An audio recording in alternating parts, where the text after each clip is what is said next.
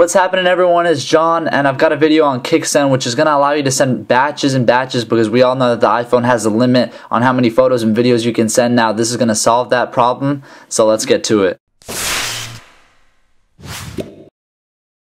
Now, as I mentioned, Kicksend is going to really solve that problem that the iPhone poses with us of not being able to send as many photos as we'd want. So let's say you take a trip to the beach and you want to send all those pictures out. Uh, is going to make it really, really uh, easy for people to receive those pictures. So uh, let's get straight to it. If I want to uh, take photo, I can do that directly from the app or I could just choose photos and video. I'm just going to select some photos here that I quickly downloaded before this video of some really nice resort spots. You can take a look real quick at them very nice. So let's say I want to send those off to my cousin and let him know that's where I want to go over the summer. And Go ahead and do that. And then I can go ahead and send that to him. I'm just going to go and say, John, whoops, Jonathan.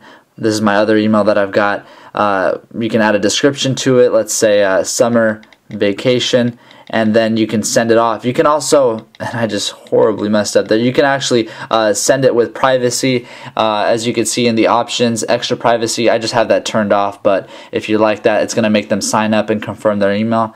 Uh, anyway, we can go ahead and send. It's going to go ahead and send them uh, in the background, which I really like. So you can go ahead and do some other stuff like look at your list, uh, even the settings, so you can check what quality you're sending the pictures at, as well as your notifications. So people can send me pictures and they'll go directly onto my iPhone or directly onto my uh, computer uh, with my Kicksend account. So it'll quickly send those off and um, it's a really it's a really good app just so if you want to send pictures to relatives or friends in batches um, it'll let you send 30 photos at a time in full quality.